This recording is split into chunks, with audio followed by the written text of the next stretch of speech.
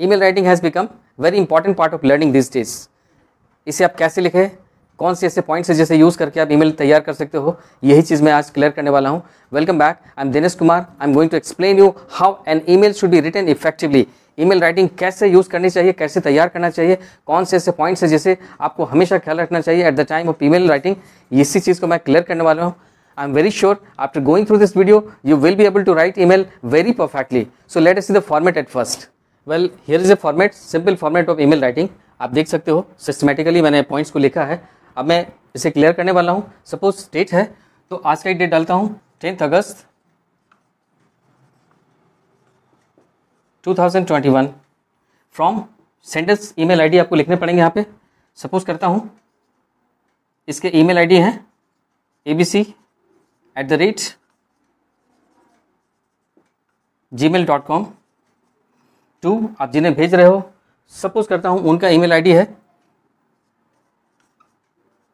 X Y Z at the rate Gmail dot com and then comes the subject it depends the reason क्यों आप लिख रहे हो, किन्हें भेज रहे हो और क्यों लिख रहे हो।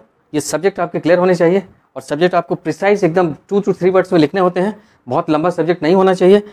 And then after living one line यहाँ पे एक लाइन छोड़ते हो फिर आप लिखते हो डियर अगर आप किसी रिलेटिव को भेज रहे हो ईमेल तो फिर आप डियर लिखते हो और फिर dear uncle dear sister dear brother लिखना होता है.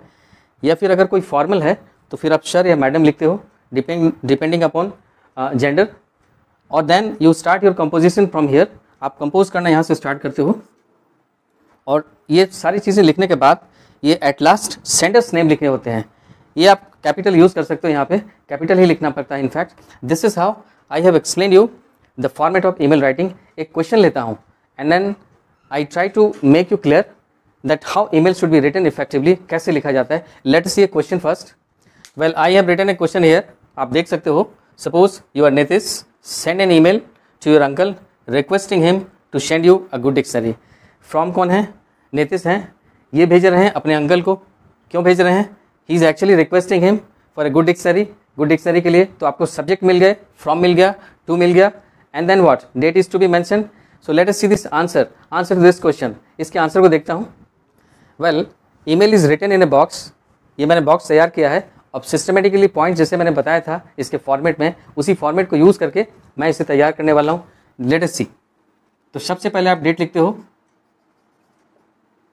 Suppose tenth August 2021 and then you write from senders email ID यहाँ पे लिखने होते हैं।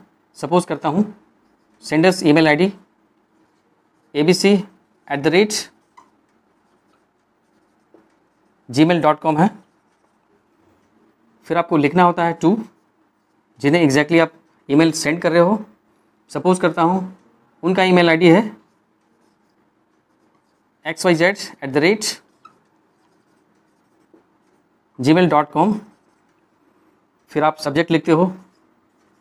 अकॉर्डिंग टू द क्वेश्चन आपके सब्जेक्ट हैं। यू नीड ए डिक्शनरी तो आप लिखो need a dictionary and then यहाँ पे एक लाइन छोड़ना होता है आपको, इस प्लेस में। You start your answer here right from here since you are writing this email to your relative तो आप डियर लिखो। Dear uncle And then your composition start from here आप कंपोज करो यहाँ से hope this email will find you in good health.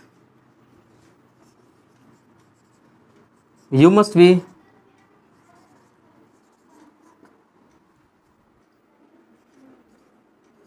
enjoying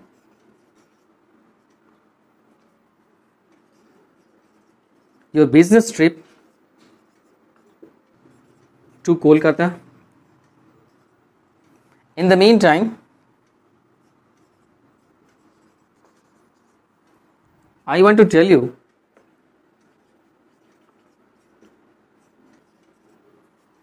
that I need a dictionary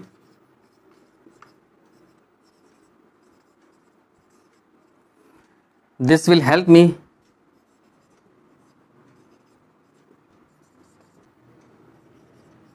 To enrich my vocabulary.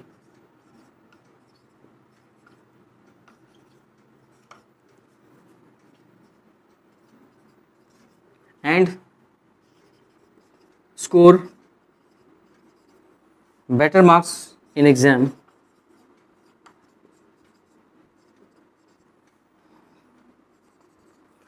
अब para change करता हूँ। Para change करना होता है। Please.